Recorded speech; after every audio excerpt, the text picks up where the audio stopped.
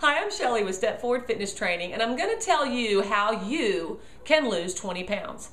Yes, it's not that hard. You just have to follow through with the next few tips. The first tip to help you lose 20 pounds is to cut unnecessary sugars. Cut them out. Look at what you're eating. And if some of the sugars are very obvious, you already know that sugar, then you know to get rid of it. Some of them are just sugars you don't even realize you're eating. You need to become aware of where all you're getting your sugars. And that includes the drinks that you're drinking, the coffees that you're making, the energy drinks that you're drinking. All of those things add are unnecessary calories. And one thing about drinking calories is that your body doesn't tell you you're full of liquid calories. It'll tell you you're full when you've eaten a big meal. Oh, I'm full. But it's not going to say, oh, I'm full of drinking.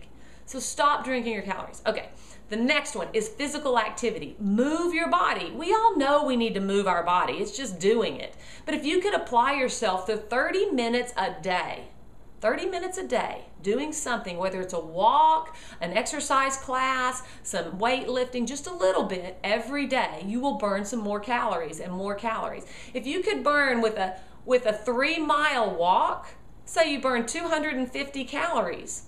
Then if you could cut around 300 calories out of your diet, then you'll lose a pound a week. There you go.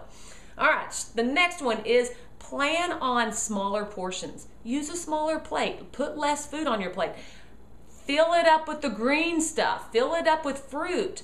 Don't load it down with processed high calorie carbohydrates. Eat healthy. It's that simple. Do it on your plate. It's easy. The next one is journal. Journaling is no fun, but I have my clients begin with a journal all the time because it helps them to realize what they're eating, how much they're eating, how often they're eating, and it helps you to realize and to focus on where your changes need to be. You don't have to journal forever, but it helps you get a, a head start. And then if you kind of waver, it helps you to get back on track.